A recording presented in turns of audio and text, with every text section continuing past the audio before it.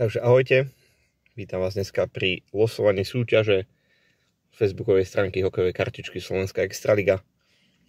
Budeme losovať teda na 5 krát, ako bolo dohodnuté cez randomizer a kto bude po 5. losovaní na prvom mieste získava teda hlavnú cenu a kto bude posledný získava teda cenu útechy.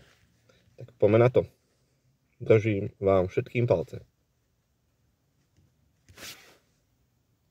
1 2, 3, 4 a idem na finálny los.